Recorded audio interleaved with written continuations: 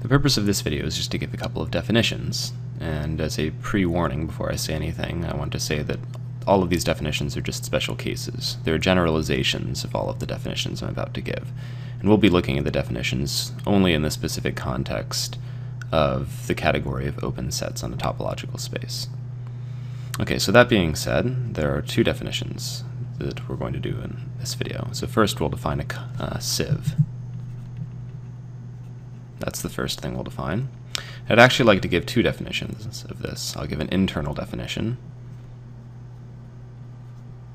and also give an external definition. So I think that both definitions are useful and enlightening um, in different contexts.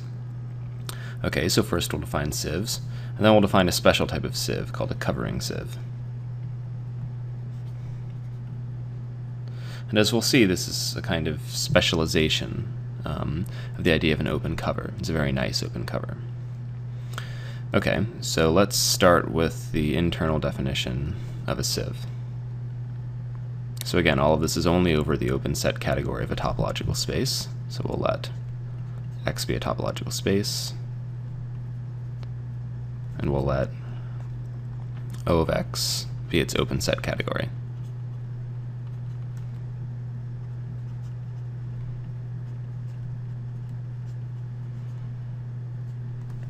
And again, both of these definitions, both the definition of a sieve and a covering sieve, will be generalized later to Grothendieck topologies, but for now we're just talking about a sort of old-fashioned classical topological space.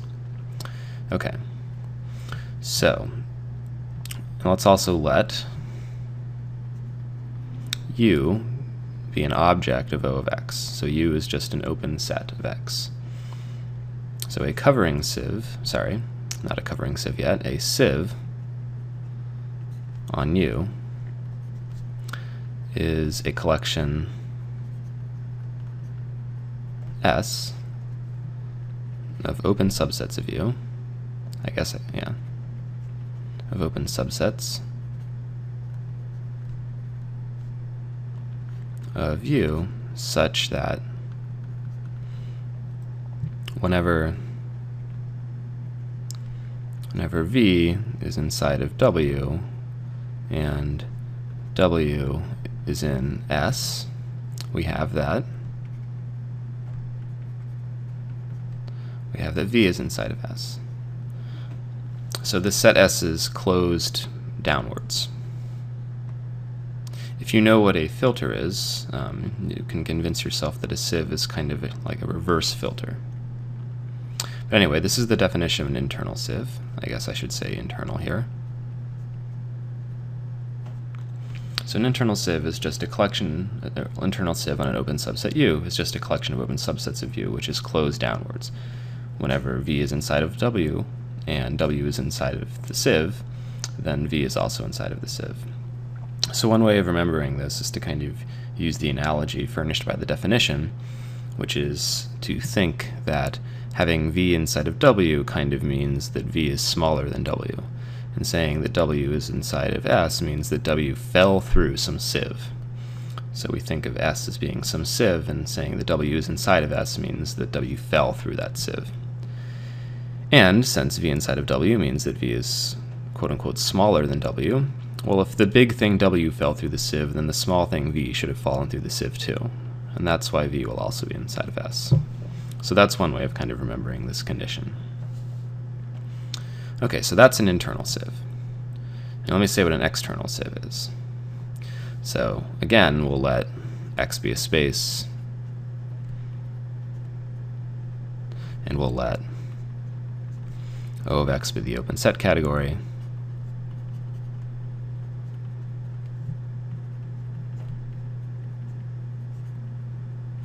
and we'll let U be an object of O of X, so U is an open subset of X. Okay, so to motivate this definition, let me um, recall some things about Yoneda.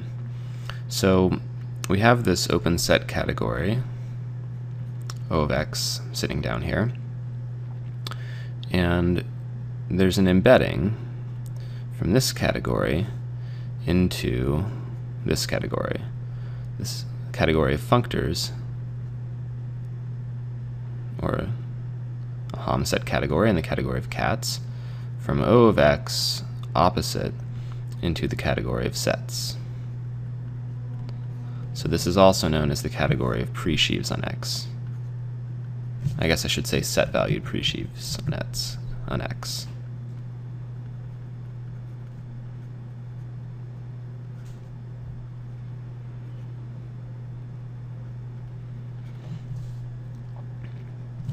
Okay, so we've got this little category O of x sitting over here, and we're embedding it inside of this is a terrible attempt at redrawing that same shape. And we're embedding it inside of some huge category. So this is O of x, this is, again, the copy of O of x, and this is, um, well, I guess I'll just say this is this category, the category of presheaves. Maybe I'll just write pre-sheaves.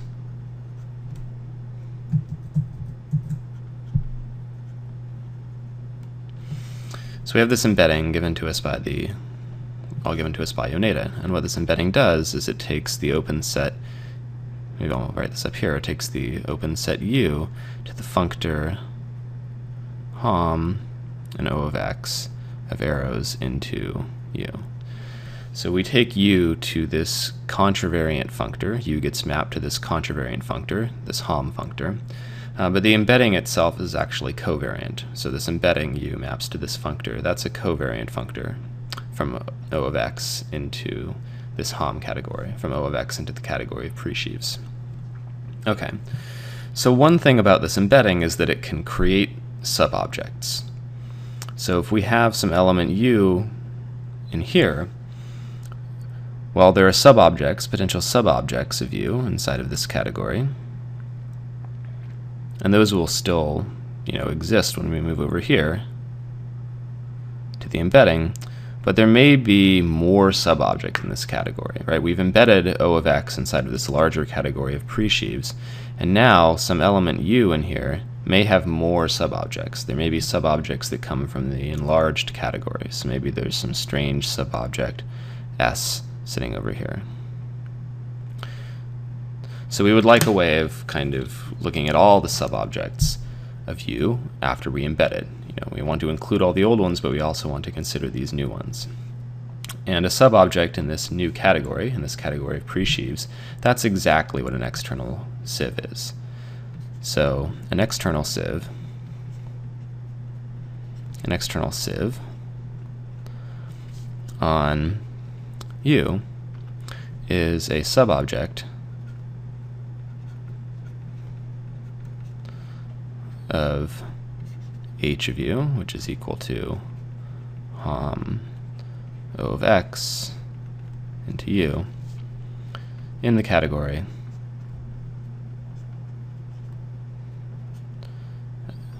HOM cats, that is the functor category, from O of x opposite into sets. So that's what an external sieve is.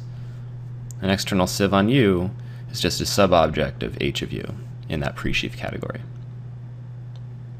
Okay, so I don't think I'm going to prove this in the mainline videos, but these two notions are equivalent, so internal sieves internal sieves and external sieves are basically the same thing. And one way of thinking about this is that an internal sieve is kind of a spreading out of a functor, right? Because an external sieve is a subobject of h of u, so it's a functor. So the internal sieve is kind of spreading out that functor. And the way you go from an internal sieve to an external sieve is just by organizing the data into a functor. So maybe I'll put up a detail video explaining exactly how that works. But if you take a moment to kind of uh, think about it, you can see it for yourself as well. Okay, so that's how we define internal external sieves. Now let's talk about covering sieves. So I think this is e most easily presented in the internal world. So let's have the same setup before with x a topological space, O of x the category of open sets, and U a subset, an open subset of x. So given all of that, a covering sieve, covering sieve, on U is a sieve S on U such that you can guess what the condition will be, such that U is equal to the union of all the elements inside of that sieve. So this is in the, I guess I'm tacitly um, uh, assuming the internal perspective.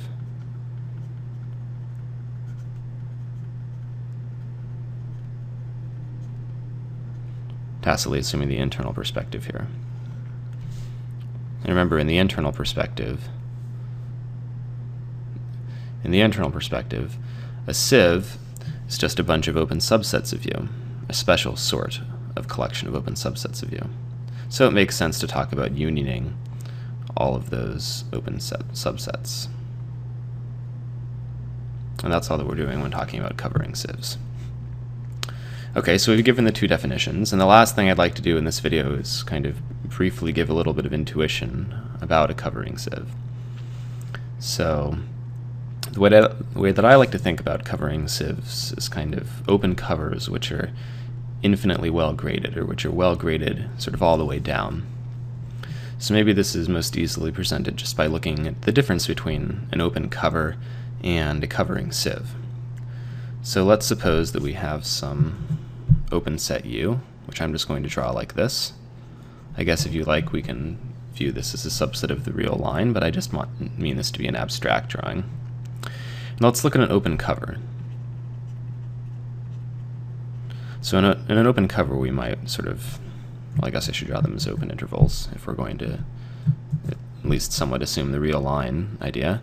So an open cover is going to consist of a bunch of intervals like this, and rather than having to draw a bunch of parentheses on this line, I'd rather draw these things as follows. I'd rather draw them like this. So let's say that this line here is meant to correspond to an interval that looks like that.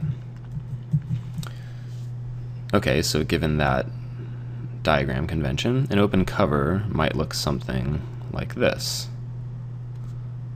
An open cover view might look something like this. So every element in U, every element up here is inside of one of these open sets. And all of these open sets are, they live up to their name, they're open. So this is what an open cover view might look like. And this is a kind of finitary, blocky looking thing, right? We have these four sets and there's kind of nothing else about them. They're just sitting there uh, very, very digitally, very, um, very finitary. But a covering sieve, a covering sieve would look a little bit different.